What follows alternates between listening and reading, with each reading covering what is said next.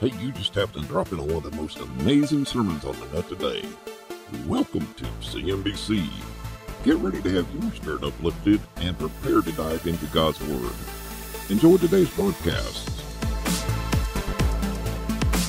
It's good to see you all this morning. It's good to see some faces haven't seen in a while. John and Deb, good to see you here. Dustin, good to see you, man.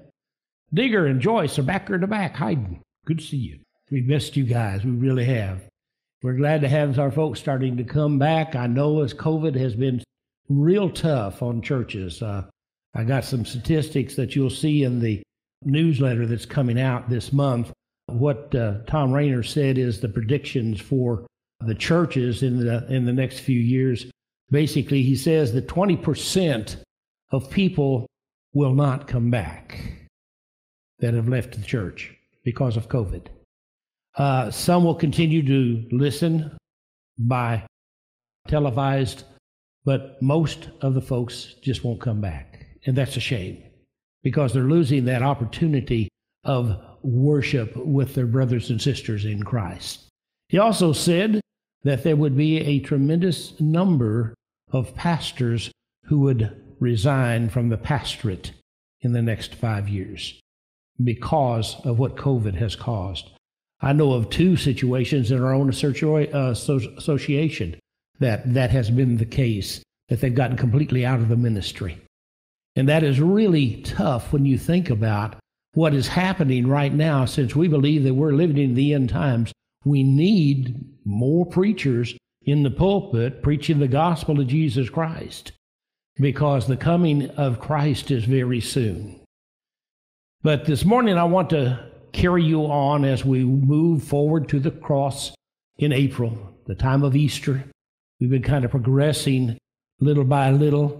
And if you'll turn to Matthew, the 26th chapter, Matthew 26, verses 36 through 46, we're going to talk about the most difficult prayer to pray.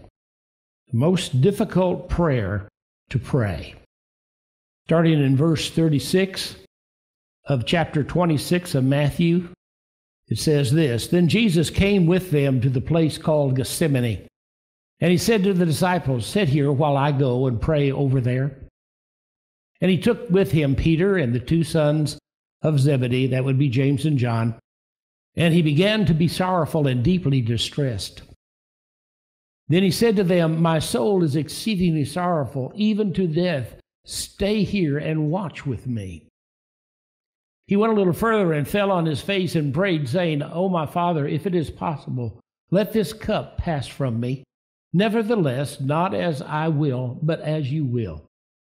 Then he came to the disciples and found them sleeping and said to Peter, What, could you not watch with me for one hour? Watch and pray, lest ye enter into temptation. The spirit indeed is willing, but the flesh is weak.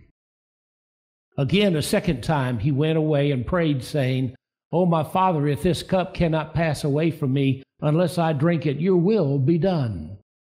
And again he found them asleep again, for their eyes were heavy.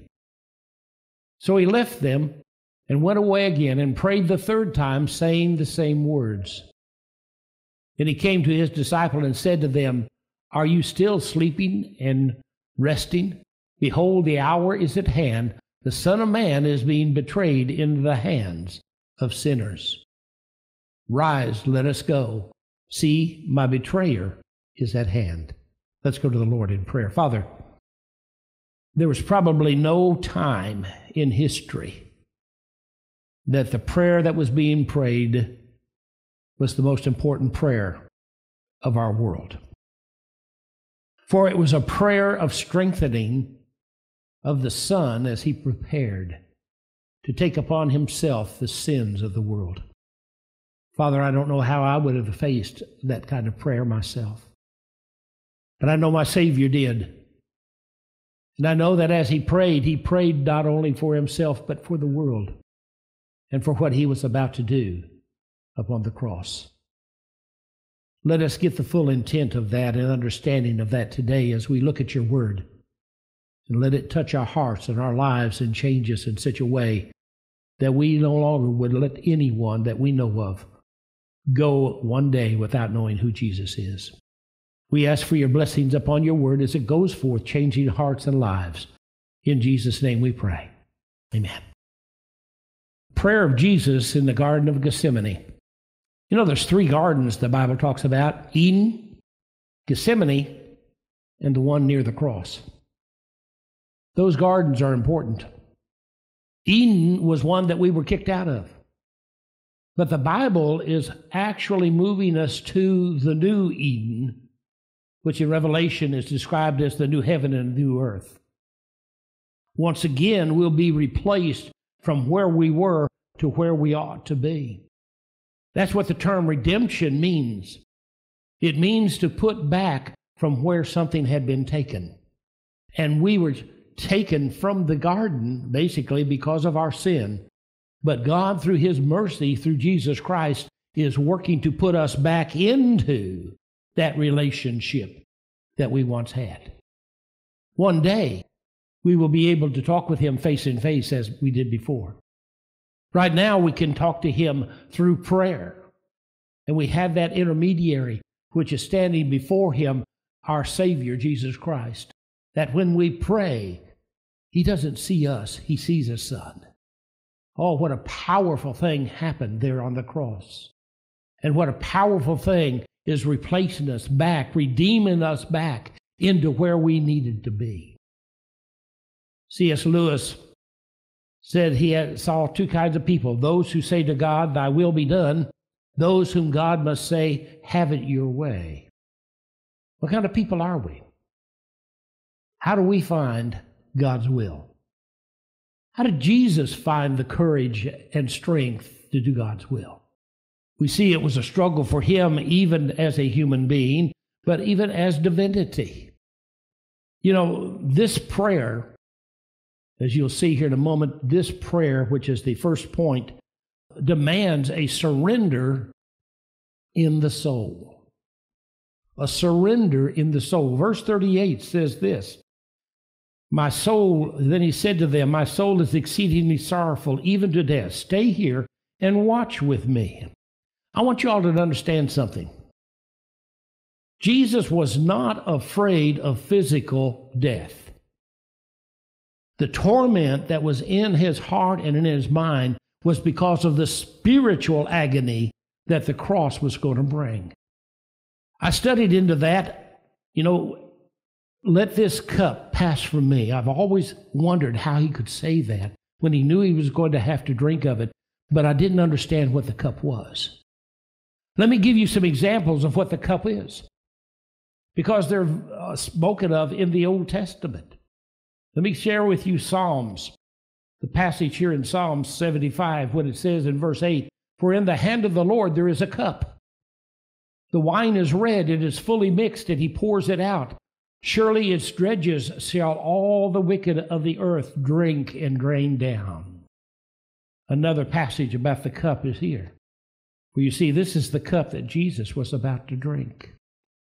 Over in Isaiah chapter 51, Verse 17, it says, Awake, awake, stand, O Jerusalem, you who have drunk at the hand of the Lord the cup of his fury. You have drunk the dredges of the cup of trembling and drained it out. In verses 20 through 21 of the same chapter, it says, Your sons have fainted. They lie in the head of the, all the streets like an antelope in a net. They are full of the fury of the Lord, the rebuke of your God. Therefore, please hear this, you afflicted and drunk not with wine, but from the cup. Over in Jeremiah, it says this in verse chapter 25, 15, where thus says the Lord God of Israel to me, Take this wine cup of fury from my hand, and cause all of the nations to whom I send you to drink it, and they will drink and stagger and go mad because of the sword I have sent among them. Folks, the cup is the cup of wrath that is poured out on sin. The cup Jesus was going to experience was the wrath of God on the sins of the world as he took them upon himself. That's why it, it turned dark. That's why the sun was blotted out.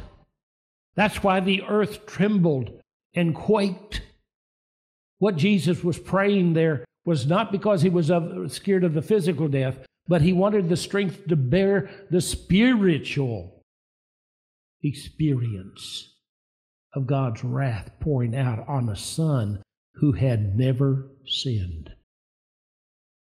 That was the struggle in the garden.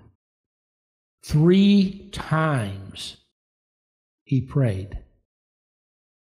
Three times he entreated the Lord, Father, let me see your wrath. But in that prayer, he also says, Not my will, but thine be done. When you think about the cross, think about what Jesus really took upon himself your and my sin. The sin of the world, past, present, and future. That's why he prayed so fervently. And in one passage, it says that he actually had drops of blood coming from his forehead. That's the anguish that Jesus dealt with.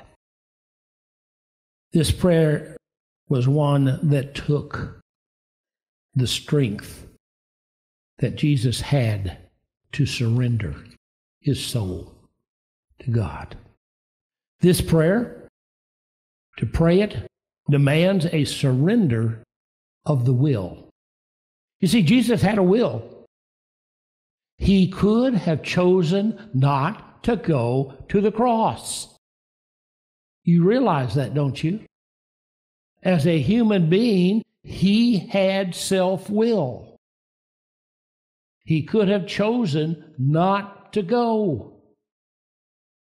Woe be unto us if he had have, for we would have remained in our sins and would have felt the judgment for it.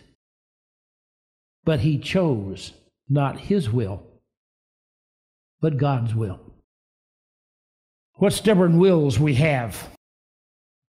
We are born with these stubborn wills. Paul struggled with it in Romans 7, if you remember. He said, Oh, the things that I should do, I do not. Those things I ought to do, that I, that I do not. But the things that I should not do, those are the things that I do. Oh, woe is me. He struggled with it. You and I struggle with it every day. Choices that we have to make, choices that sometimes are very difficult because of circumstances that we live in. It's not easy to make a choice. Yesterday, I made a choice. I went out and I, I tilled the garden. I paid for it later. I paid for it as I was tilling. Our rooster doesn't like wheels, and that tiller has two wheels on it. And I didn't even see him behind me, but he got me in the back of the leg. He chose what happened to him afterwards. And the wrath of God fell. He did the same thing to my daughter, and I got tickled at what she did to him. She put him underneath the wheelbarrow and then took something and beat the wheelbarrow. Lifted up the wheelbarrow and he kind of lingered off, you know. We make choices, sometimes dumb ones. But, folks, let me tell you something. The will of God should permeate our lives. Not our will, Lord, but yours.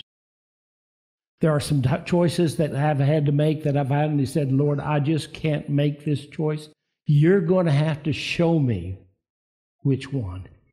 Because we are stubborn people, particularly us that come from Missouri because we're called mule headed. But the truth is, everyone has a stubborn streak in you. If you don't think you do, just ask your loved one, and they'll tell you for sure. So, what do we do with this stubborn will? You know, both men and animals have stubborn wills. Try to lead a dog when he doesn't want to go anywhere. Don't even put a harness on a cat, they'll just drag. I'll just tell you right now. Bits in a horse's mouth are used to control their will. But even they reject that, don't they, Doc, from time to time? They have a stubborn will. Do you refuse to come to Christ because of your stubborn will? Have you refused to forgive because of your stubborn will? Yield to God and make His will your own. You will experience greater relief and peace. In yielding, you will find forgiveness and freedom. When we yield to the Lord our will, things go a whole lot better. To pray this prayer demands dedication when others fail. Notice that three times or twice he had to go out and wake the disciples. Now, I'm kind of wondering somebody must have been hearing something because it's written down here. One of them had to be somewhat awake. Matthew writes this, but I'm sure it was one of either Peter, James, or John that heard the things that Jesus said and related it to the other disciples. And that's how we get the record here, because this is a verbatim. We used to have to do those when I worked in the hospital as a chaplain. You have to write down a verbatim after you visited with a patient as to what you said and what they said and what you said and what they said. And I always wondered, why in the world did we have to do that and turn it over to the head chaplain? He said, well, he said, I turned it over to the nursing staff and the doctors, and they are able to ascertain from what they tell us and what we say exactly what their spiritual and physical condition is. I said, Really? Yes, because a lot of times they talk to us where they won't talk to the doctor. So that's why we wrote verbatims. Sometimes we talk to strangers quicker than we do friends. I remember one time my wife was meeting with uh, one of her friends and she invited me along for the lunch. And she told me afterwards, she said, That woman talked to you more than she's ever talked to me. I was a stranger. Isn't it interesting how we relate to other people? You see, we're supposed to relate to God like that. We're supposed to tell Him our everything. And you know why? He already knows our everything. But when we talk to Him about it, it's confessing. And it brings us in right relationship with Him. Pray this prayer demands dedication when others fail. The disciples had failed to stay awake. Do you have trouble sleep, uh, staying awake when you're reading your devotions at night? Do you have trouble hearing God? Are things getting in the way? I took a communication class one time and it learned that in between the speaker and the listener, there's this field of static. It has to do with our bias, our understanding of the word, our understanding of what's going on, our understanding of that person's feelings. All of that works into that bias or that static. And so sometimes what we hear is not what is being said. So we have to be careful about hearing and listening. We've got to sort out some of that stuff. And it's good sometimes to say to that person, I didn't hear you correctly. Would you repeat what you said? Because you see, there's all kinds of distractions sometimes when we're talking. Jesus was not distracted when he was praying. The disciples were distracted because they were tired. And as he said, the spirit was willing, they came at his call, but the flesh is weak. Did you ever have that times in your life? When the spirit is willing, but the flesh is weak. And it's because we've made our times and our culture so busy. We are busy doing busy work and not taking time to be in communication with the Master.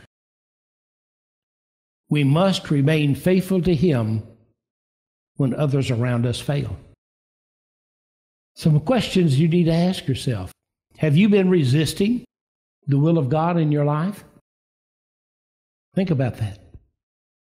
Have you been resisting the will of God in your life? I can't answer that for you. I know there are times when I have resisted the will of God.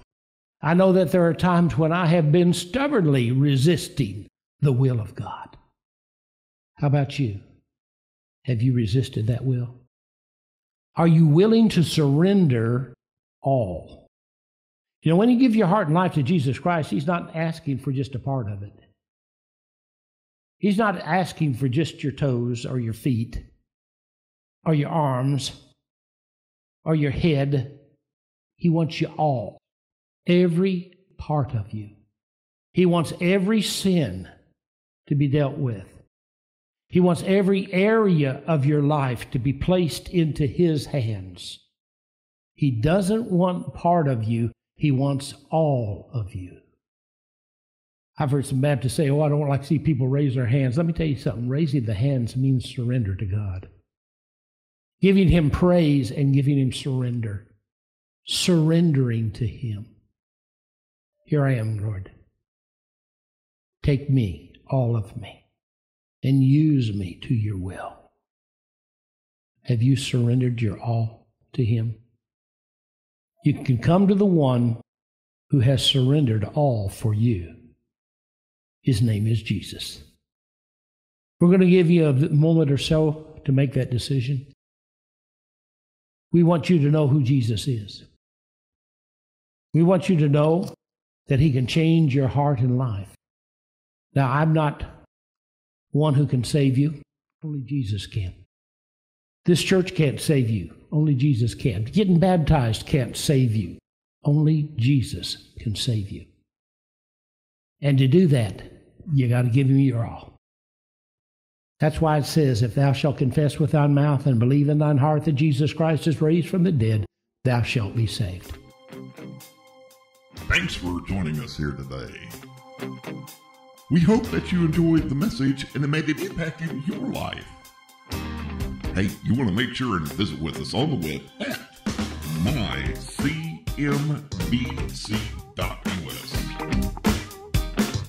Also, be sure to stop by our Facebook page and follow the ministry of Crow Mountain Baptist Church. You can find it at facebook.com forward slash Crow Mountain Baptist. Tune in next week for another amazing message. Have a great week.